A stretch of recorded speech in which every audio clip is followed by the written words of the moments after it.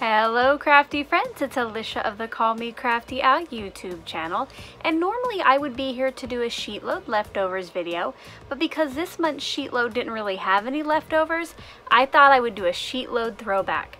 I hope you'll stick around, see how I kind of update the August 2019 sheet load of cards and see the final set I make.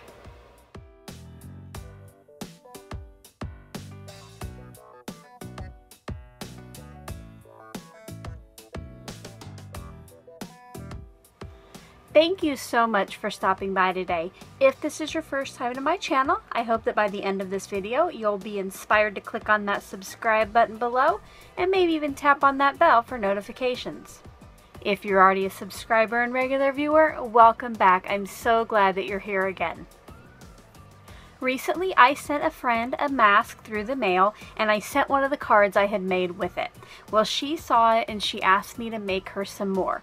So today's video, not only is it a rework of last August's sheet load of cards, it's also a custom order. When I first started Sheetload of Cards, I made it so all the cards would look the same. Recently, I've started to switch it up where you can mix and match the pieces so your cards look different. Last August was one of the cases where they all looked the same. So what I'm going to try to do today is cut the papers a little differently so I can do some mixing and matching. So instead of having piece one always be the polka dotted paper, sometimes it will be the leafy paper. If you're a subscriber to my channel, or you're getting ready to be, and you want to download the free printable from August 2019, I will let you know at the end of this video how you can do that. You can also go check out the original video from last year. I will link that video below as well. Before I get started on the process, let's go ahead and take a look at some of the supplies I'll be using today. For my sentiments, I will be using these two Hero Arts stamp and cut set. My friend did go ahead and pick out what die cuts and what sentiments she wants on her cards. For my cardstock, I'll be using some gray cardstock and I will be replacing some of the cardstock with 28 pound vellum. For the card bases, I have already cut and folded those off camera, but I did just cut and fold 12 of those. For my pattern papers, I will be using these five patterns and they are all from the Die Cuts with the View Cotton Field Stack. I recently bought this at Joann and fell in love with all of the patterns in this. If you are by a Joann's, I would suggest checking this out.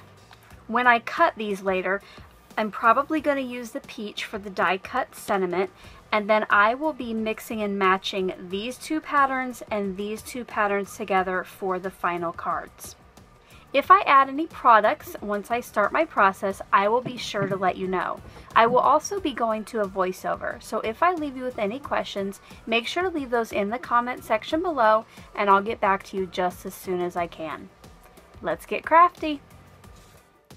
I'm going to start today by doing the cutting and instead of cutting each piece into six pieces that are the same size, I'm going to distribute the sizes across different pattern papers. I will be cutting three pieces that are five and a quarter inch wide by four inches tall and three pieces that are two and a quarter inch wide by three and a half inches tall. I did have to cut off the hole on the top of my paper first before I could cut it down into the five and a quarter and two and a quarter inch strips. Once I had those two strips, I then just cut them down to the final height.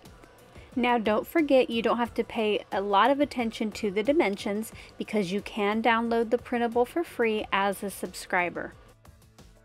Eventually I will be cutting a reverse fishtail into the smaller pieces, but for now I'm just going to set those to the side and continue to cut all the pattern papers just like I did that first one.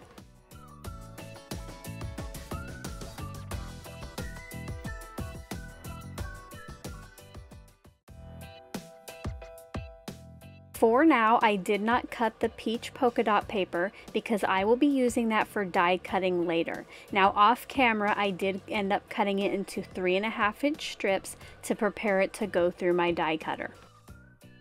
Next, I'm going to cut two pieces of 28 pound vellum per the instruction for CS1B. Now, because I am making two sets of cards, I do have to cut two pieces of this, and I will end up with 12 pieces that are two and a half inches wide by three and three quarters inches tall. Eventually, just like the small strips that I showed you from the pattern paper, these will have a reverse fishtail put in the end. But again, I'm going to wait to do that until I have some more cutting done. Next, I got out three pieces of gray cardstock and I will be cutting this per the instructions for CS1A. On the original sheet load of cards, you end up with two extra pieces, so that's why you do not have to double this from two to four sheets when you're going to make 12 cards.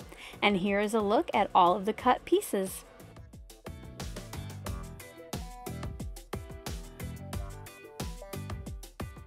Now it's time to cut that reverse fishtail. What I'm going to do is make a white cardstock template that I measure and cut that angle at the bottom so that I can put it on the pattern papers and cut against that.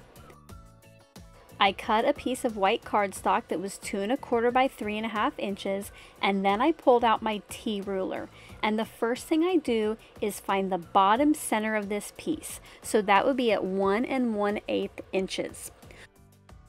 Once I have marked the center, I then turn it 90 degrees and I mark a half an inch up on each side.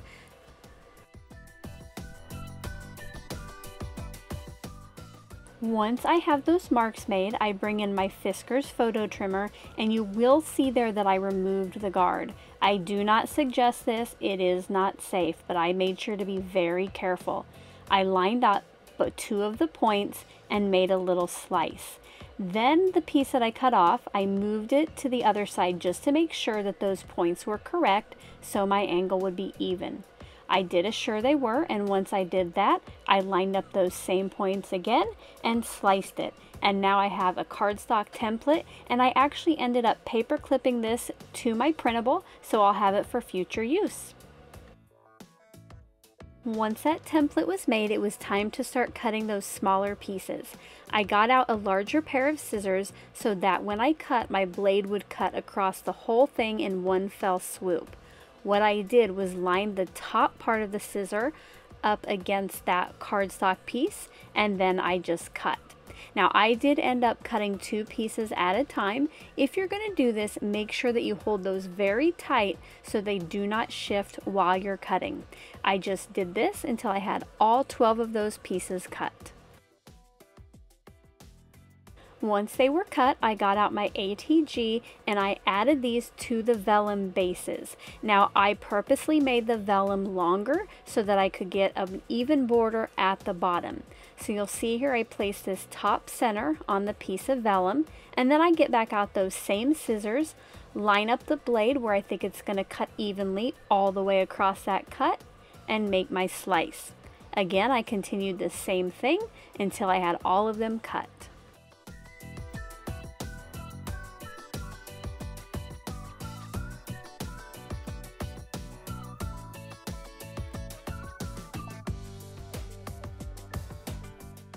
Once everything was cut, I could start assembling the cards. The first thing I did was add adhesive to the back of the larger pattern paper piece and then centered this onto the gray cardstock base.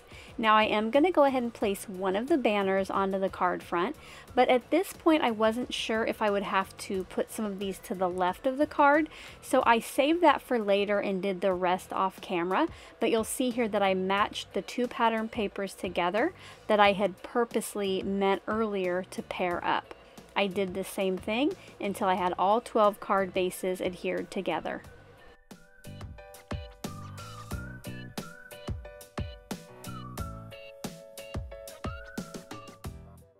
Next, I die cut all of my words from the peach polka dotted paper. I placed the two dies face up and then my pattern paper went face down on top of it. I did have to get out my scissors to help me poke out the hello, but once I had those done, I just continued this same process until I had six of each word cut out.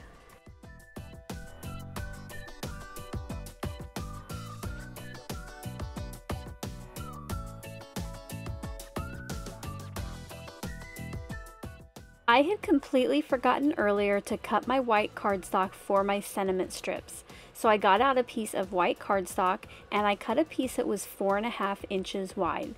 I then proceeded to cut this into half inch strips until I think I had about 12 done. Now some of these I knew would be for smaller sentiments, so I went ahead and cut those down to 3 inches wide, and that is the actual size called for on the sheet load of cards. Now I could stamp the sentiments. Because some of the sentiments would have the words before love, I am going to show you how I stamped one of each.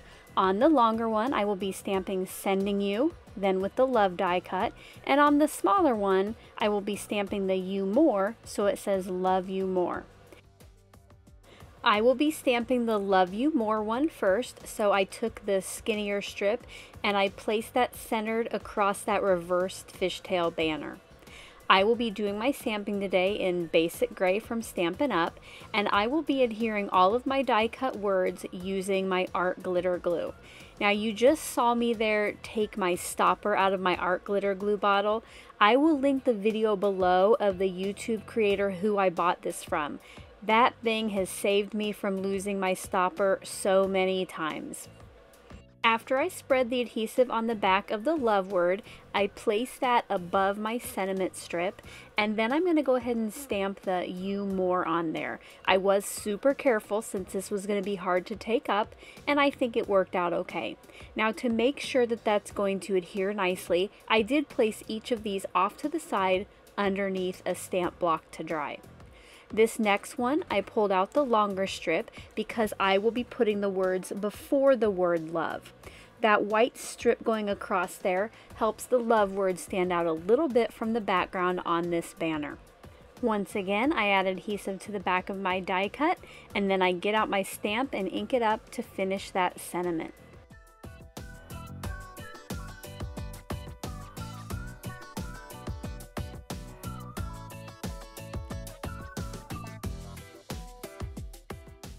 Once all of those were dry, I went ahead and put all of the card fronts onto card bases. And you'll see that for this hello here on the left, for some of the cards I actually used one of the blue pattern papers for my die cut. I just thought that stood out better from the background. Before I can call these cards complete, I do want to add a little bit of sparkle to keep my friend from having to pay for extra postage for cards that are bumpy, I did try to keep these cards pretty flat. So for my embellishments today, I am using these clear glitter dots from Elizabeth Craft Designs. They add such a nice bit of sparkle, but they're still flat and make an easy to mail card. While I finish placing the gems, I will let you know how you can download this printable for free if you're a subscriber to my channel. Like always, we just go on the honor system here, so please make sure if you're going to download or print this that you are subscribed to my channel. All the way at the bottom of my description box below is a link to the August 2019 PDF. You can also get to it from that original video which I have linked in the description box below. Now that all of the sparkle is in place, here is a close-up look at all of the finished cards.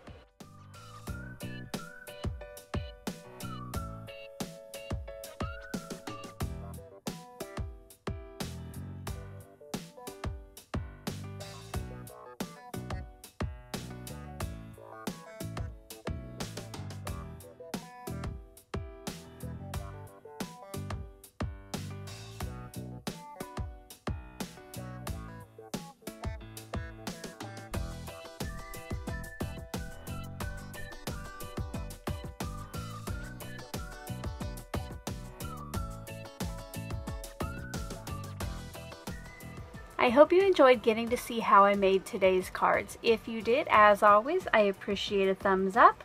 Until my next video, I hope you're all having a crafty day. Bye-bye. Thank you so much for taking the time to watch all the way to the end of the video. I hope now you'll consider clicking on one of the videos or playlists I have linked above, and if you're interested in any of the products or tools I used in today's video, I do have some links in the description box.